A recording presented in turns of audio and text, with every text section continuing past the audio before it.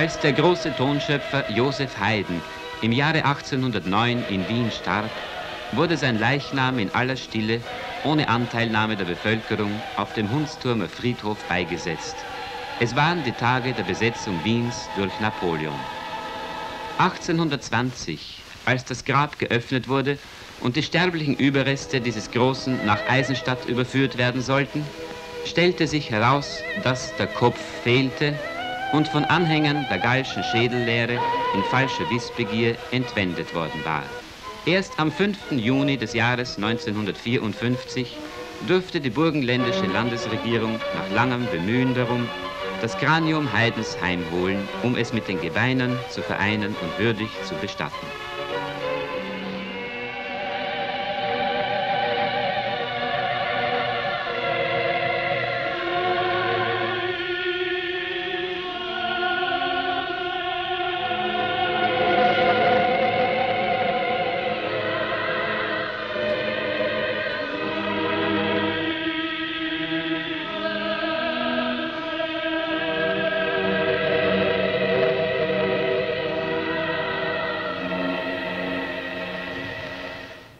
His greatest music is just marvelous in every way, and his ordinary music is, is just more pedestrian in every way.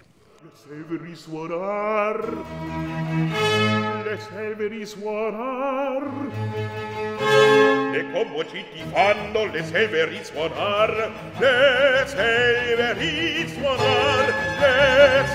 le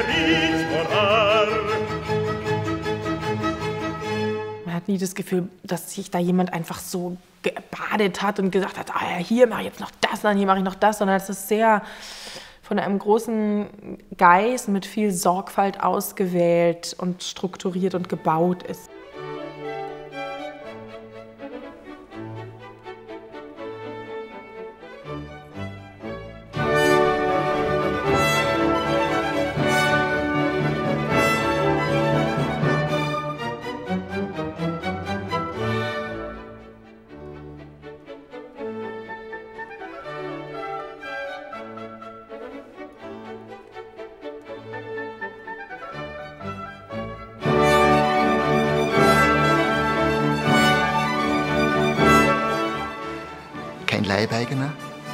Komplett unabhängig, zum Schluss sehr wohlhabend, aus eigener Kraft das Ganze geschafft. Und er sagt ja auch, ich bin das Beispiel, äh, wo man sieht, dass man durch, durch Fleiß und Talent zu etwa, aus, dem, aus dem Nichts etwas aus werden kann. Also in heutigen Worten, äh, Worten vom Tellerwäscher zum Millionär. Also das ist, das ist glaube ich, schon eine, eine tolle Biografie, die da hinlegt.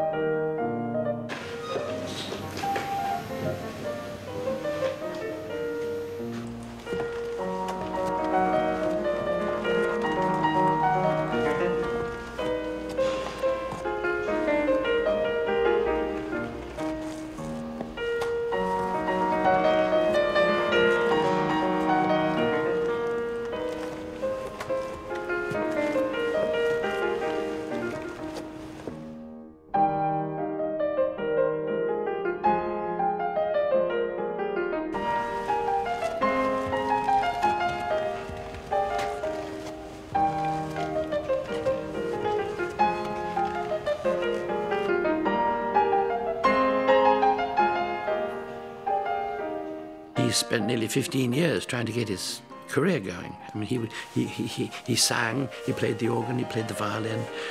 He was a, he was a jobbing, a jobbing performer around Vienna. There were a lot of, of them. And I know what that life was like because I was a jobbing singer and a violinist and a, and a, and a conductor in London 50 years ago, trying to make, trying to make my living. Um, it's, it's tough, but it's fun. And he was very good at it.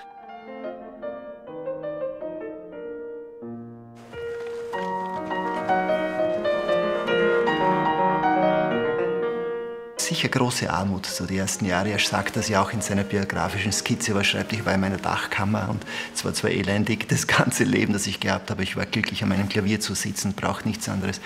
Also, wenn man so eine Charakterlinie da durchzieht, dann ist das sicher auch etwas, das Positive, das er immer gesehen hat. Auch wenn es einem schlecht geht, es ist immer ein Blick nach vor und ich kann doch zufrieden sein, ich habe meine Musik. Also ich glaube, das hat sich damals schon auch manifestiert bei ihm.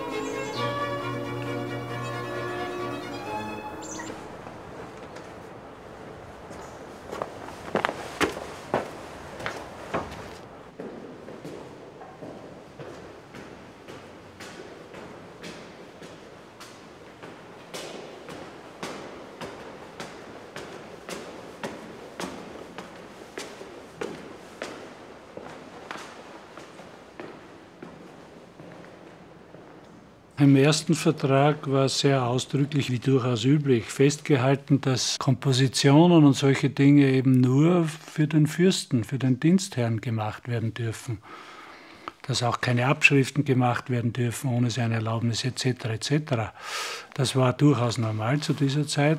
Aber das hat sich relativ bald gelockert durch die Praxis und dann vor allem in dem zweiten reinen Dienstvertrag mit Haydn von 1779 ist das auch nicht mehr enthalten. Man weiß aber, dass Haydn früher sich schon nicht daran gehalten hat und der Fürst das auch gewusst hat, sicherlich und es zur Kenntnis genommen hat.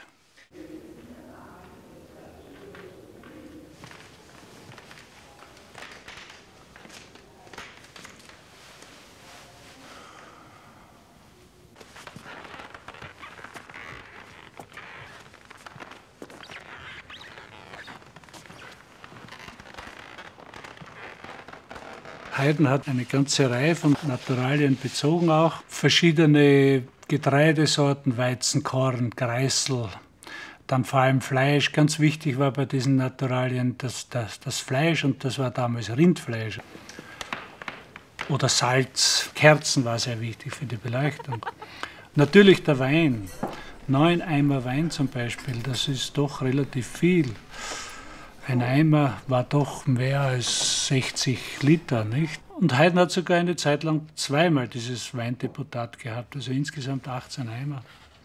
Das ist immer pro Jahr angegeben. Das sind pro Tag doch so ein bis zwei Liter.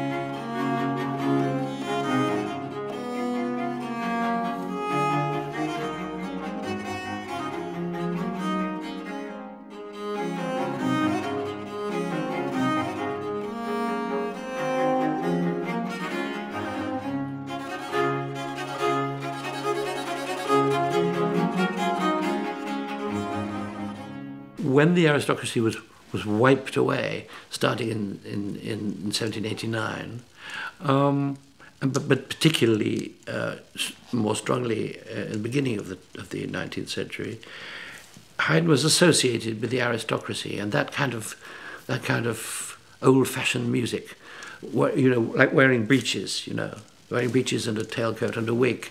It went out. The wigs disappeared. The, the breeches became trousers. Um, people stopped wearing all this stuff. And Haydn was suddenly, suddenly out of date. Es ist so, dass so im, im 19. Jahrhundert eigentlich sehr viel Rufmord an Haydn ge, getrieben worden ist. Also der, der Fürstenknecht in der Romantik war es nicht wirklich fesch, wenn man Angestellter war, sondern muss der freie Künstler, der muss aus, der aus Tragik schöpfen. Äh, das, da hat Haydn nicht allzu viel hergegeben. Er war auch ein sehr diskreter Mensch und man hat ja nicht in die Biografien geforscht. Äh, und er war wirklich zeitlebens in, in, in, im Dienst. Heute will man sagen, er hat eine fixe Anstellung.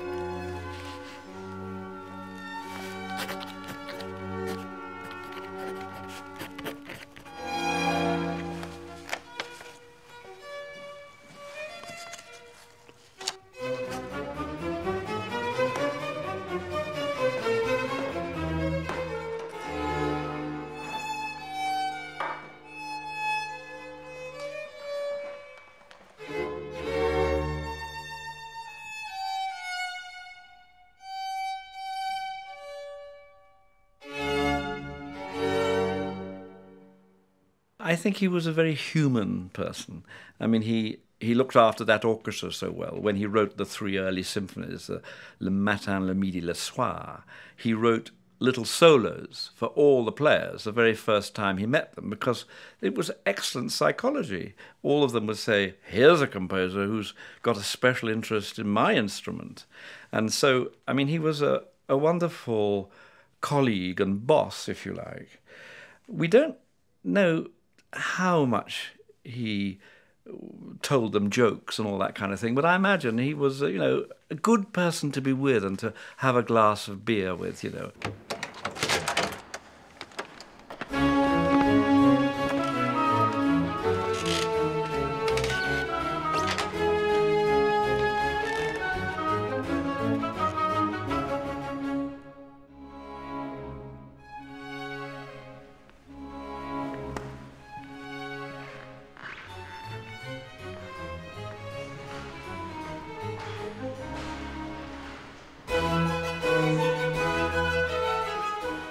Ursprünglich war Marmor und Porphyr darunter.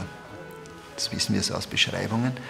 Und es war damals durchaus üblich bei großen Festen, Holzböden aufzulegen, um den Boden einfach zu schonen.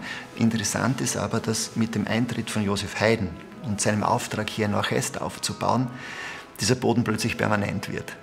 Also es gibt auch aus der Zeit sogar Zimmermannsrechnungen, wo, äh, wo genau das Datum ist, wann der hineingelegt worden ist. Und ähm, das zeigt schon auch, dass hier das Wollen da war. Also äh, der Fürst, der den Auftrag gibt und Haydn, der sagt, wenn ich den Auftrag ordentlich vollbringen soll, dann sollten wir doch auch ein bisschen die Rahmenbedingungen schaffen. Äh, und der Fürst nickt das quasi dann ab, ne? äh, weil der Boden ist heute noch drin.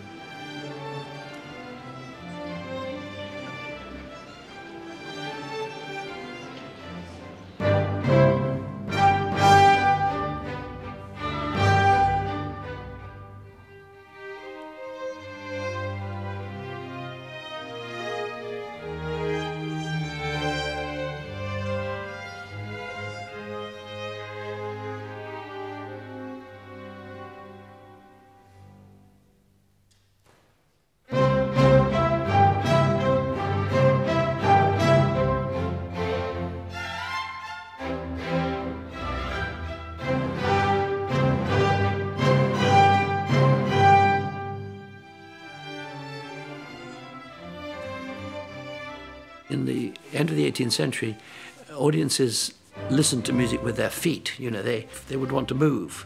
And one of the key things about performing Mozart or Haydn is to, to get that sense of dance. And that's not just about a rhythm, you know, don't just go dung, dung, dung, dung. It's whether there's a shape. If there's a shape to the music, it makes you want to move. If you go one, two, three, four, all you get is jungle rhythm, you know, from the from the nightclubs. Oh, oh. But in in in, in Haydn's day, if you go one, two, three, four, one, two, three, four, one, everyone's waiting for the one.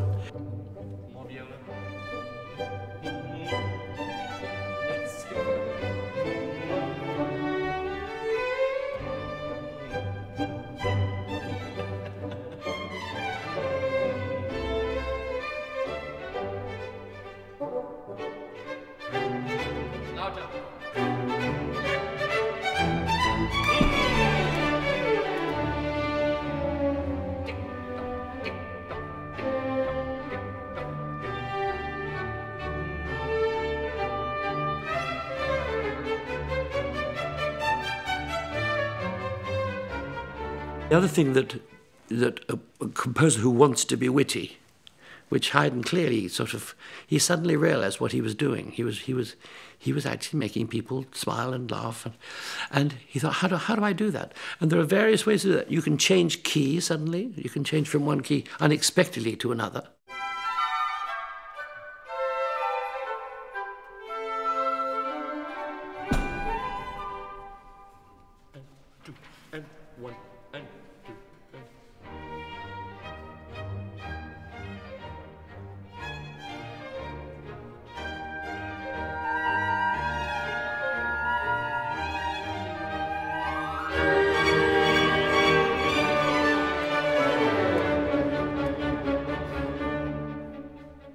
If you don't perform Haydn accurately and with fantasy, um, it can sound incredibly boring. It can sound, as I said before, like cornflakes with water. You know, you need the milk and the cream and the sugar to, to just bring it alive. And then it's marvelous. It's the best music in the world. Ganz große Kunst im Detail. Also er schafft es, ähm, beispielsweise im letzten Satz der D-Dur-Sonate, die Musik auf einen einzigen Ton re zu reduzieren, den immer und immer und immer zu wiederholen, achtmal.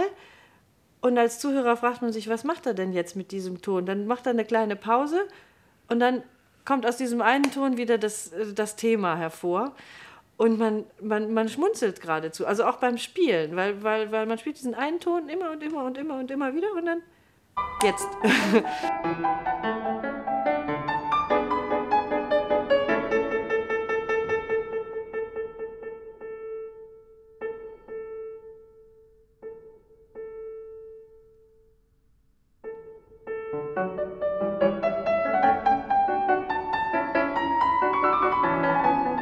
das ähm, finde ich auch fast unvergleichlich. Also da ist er ganz großer Meister drin. Die Nuance und das Detail. Und das liebe ich wahnsinnig.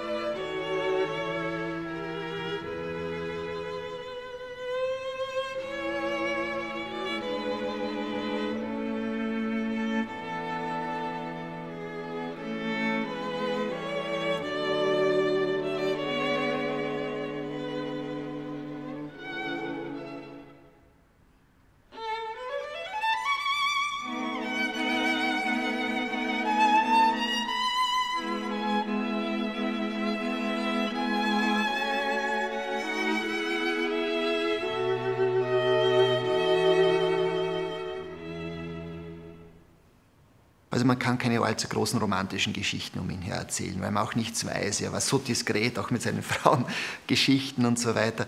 Da kommt doch jetzt einiges zutage oder man weiß schon ein bisschen mehr. Also man kommt darauf, oh, er hatte auch eine Geliebte, die war Sängerin. Er hat sich in, in, in England wieder heftig verliebt in, in die Frau Schröter und hatte auch andere, vielleicht andere Beziehungen auch noch so.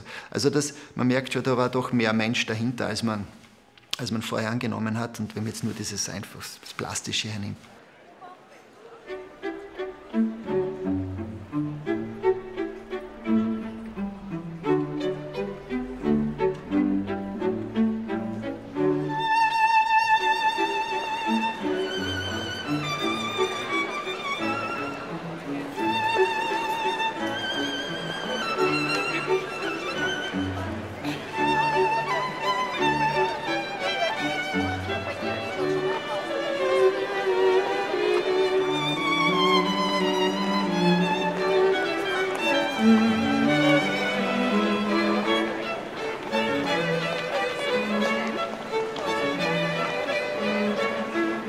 Can make you more human if you're a man than being attracted to women? He just loved the company of women. And so wherever he went, he made good friends.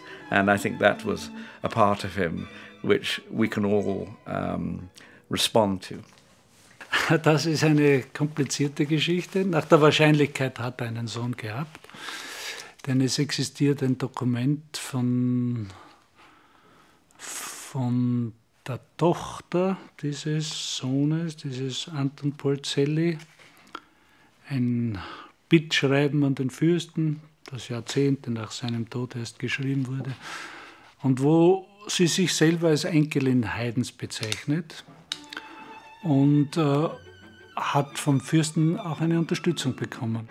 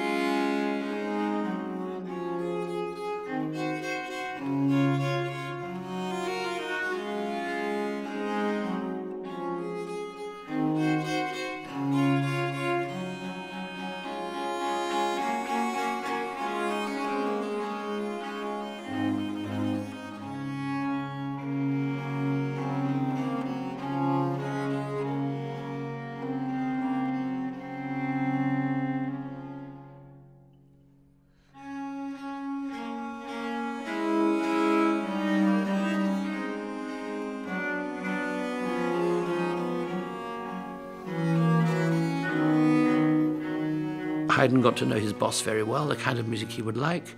Um, and uh, give me one of those dark ones this week, will you, will you please, uh, Haydn? Yes, sir. Yes, sir. Uh, tomorrow? Yes, very well. I'll write it tonight.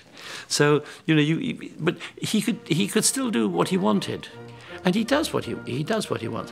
I think the interesting the interesting difference comes for me that when he's writing operas, he doesn't seem to be really truly excited by by writing operas. He writes quite good operas, but they aren't amazing.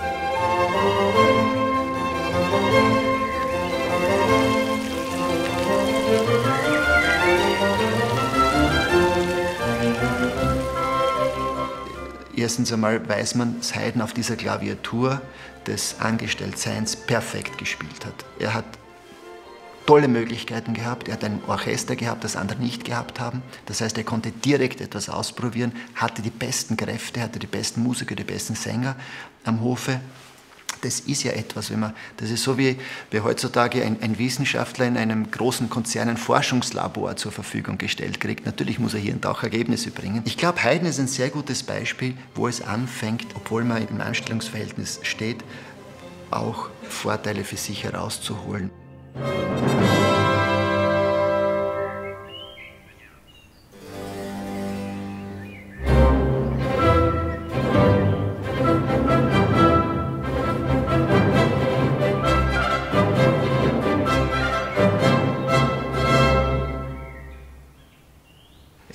Hier äh, Tausende von Opernaufführungen geleitet, also ungefähr 90 verschiedene andere Opern von anderen Komponisten. Also wenn er, wenn er eine Oper komponiert, hat er gewusst, wo, was ist jetzt Standard, wo muss ich sein, wo muss ich besser sein als der andere. Und also zu sagen, Haydn hat seine Oper nicht geschätzt, das ist schon sehr, sehr vermessen. Ähm, dass man, und, und wenn man dann auch sagt, ja, diese Librette, die Musik ist ja nicht, aber die Librette sind so schlecht. Das waren sie alle. Alle die gleichen Geschichten. Man darf auch nicht vergessen, diese mythologischen Themen, das waren die Harry Potters aus der Zeit. Genau. Den anderen, den da, da, da, da.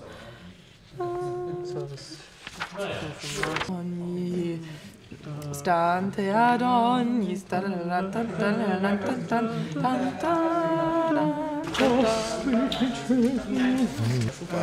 No, Daniel, ich würde das genießen, was. Wir haben schon zwei Tage. Bereit. Kann, kannst du uns einmal durchführen, diese ganze Geschichte? Ja. Also in the speaking, a lot of diminuendo. Uh, three, four.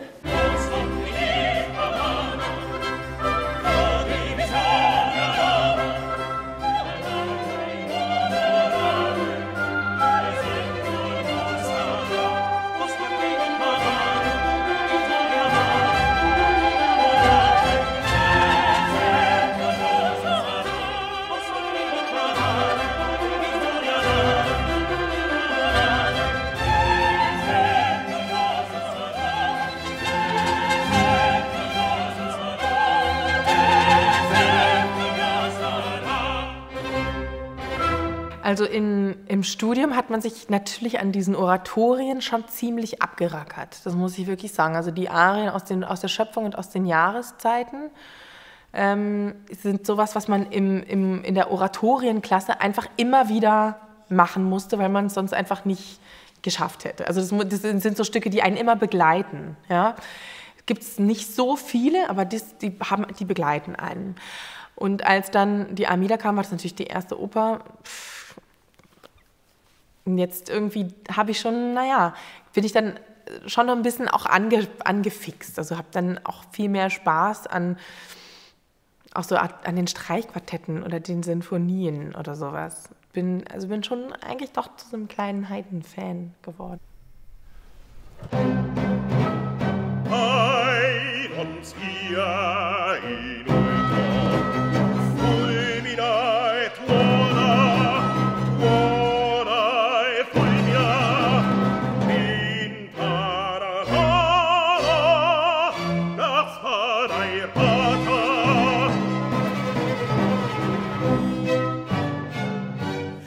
denke, was bei Haydn ähm, frappierend ist, ist, dass äh, er eine sehr eigene Sprache hat, dass er eine unglaubliche musikalische Fantasie hat ähm, und äh, die steht der Mozarts, finde ich, nicht wirklich viel nach.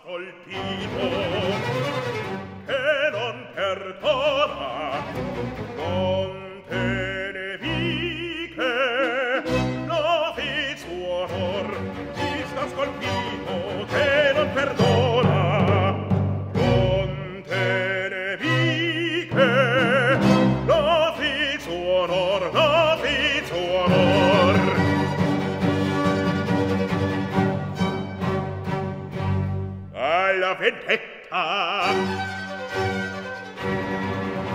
Sonan le trombe. E miei campioni del star lo sdegno Per ogni dove le corrimbombe Del mio guerra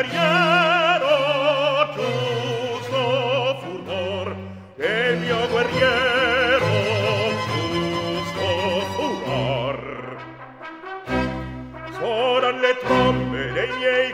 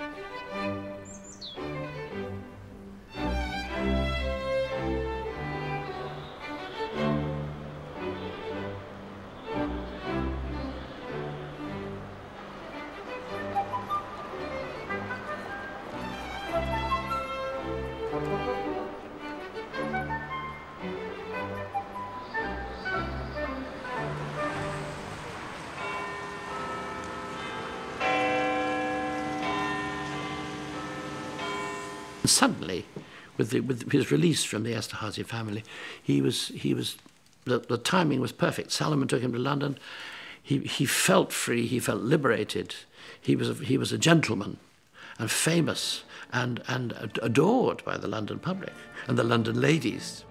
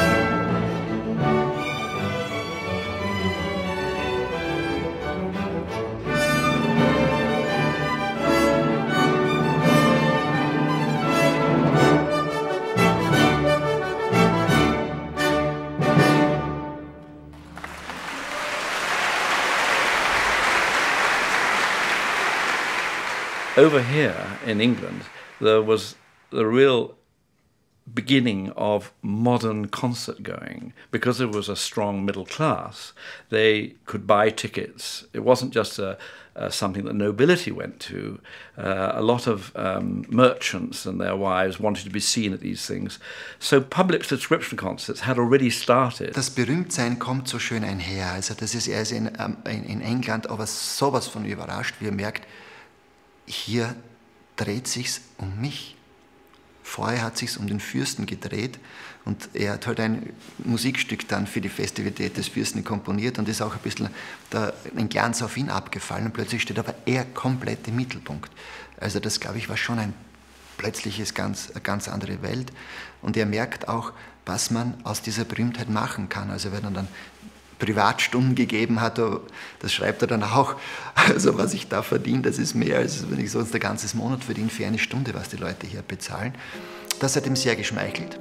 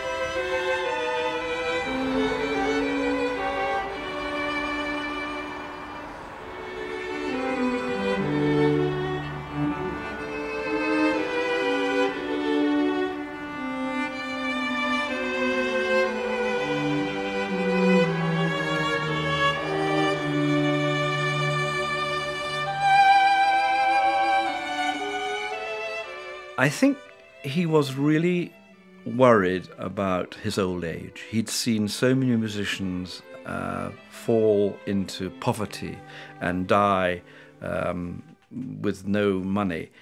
And so, from the very beginning, he was always careful to try and build up some savings.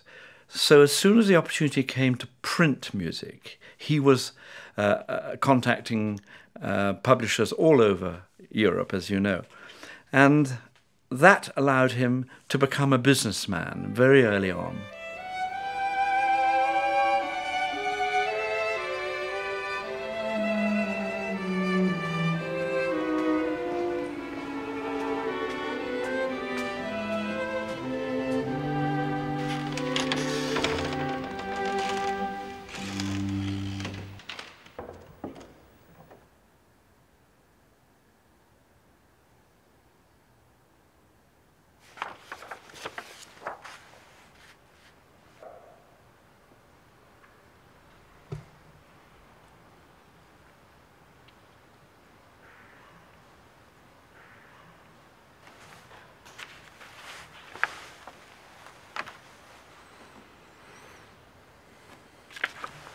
Mit den Kopisten, das ist ja auch so eine eigene Geschichte gewesen. Also die haben meisten davon verdient und da gibt es ja auch einen Briefwechsel mit Ataria, wo Ataria draufkommt, Haydn hat das woanders hin auch verkauft und Haydn tröstet sich ganz am Anfang, sagt, na na, der Spitzbube sitzt in ihrem Comptoir, der hat einfach das oben kopiert und unter dem Tisch hat er noch eine zweite Kopie angefangen. Ähm, also das war gang und gäbe, dass die Kopisten hier zusätzliches Geld verdienen, weil ein Kopiergerät hat es ja nicht gegeben. In unserem Fall mit Haydn musste er dann beim nächsten Brief musste schon eingestehen, dass der Kopist nicht schuld ist, sondern dass er gemacht hat.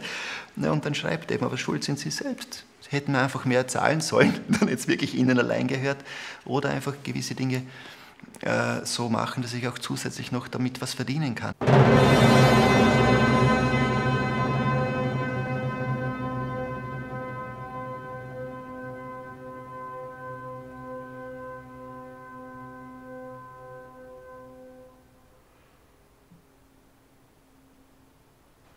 Weil sie die Schöpfung geschrieben hat, das Oratorium, da macht Haydn die Ausgabe im Selbstverlag, die Partitur.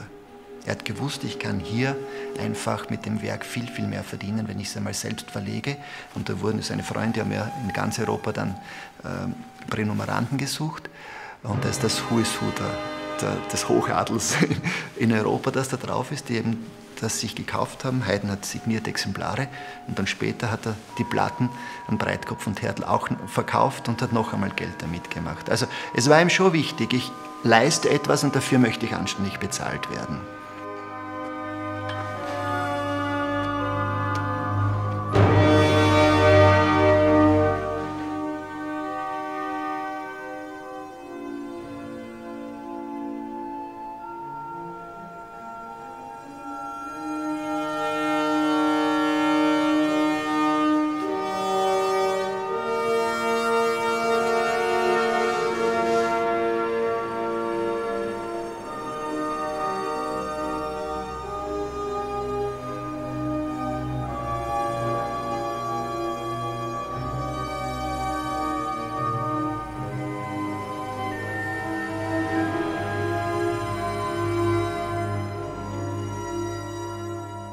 He remained a simple person. He didn't become grand. And so he could always do both.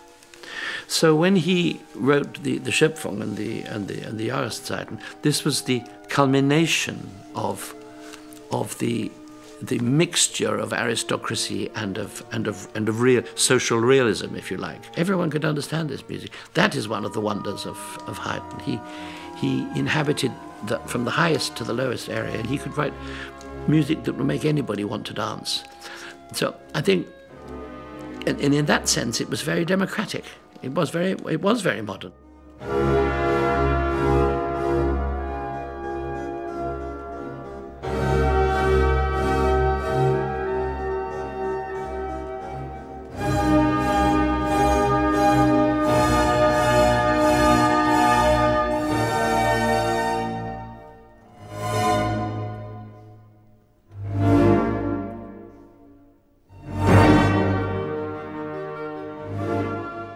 Denke, dass Haydn auf dem Weg äh, zu dem Ruhmesplatz ist, der ihm gebührt, einfach weil die Musik fantastisch ist und weil ähm, die Musik wirklich, glaube ich, auch die Menschen direkt erreicht und anspricht. Und nichts anderes wollen wir ja mit Musik.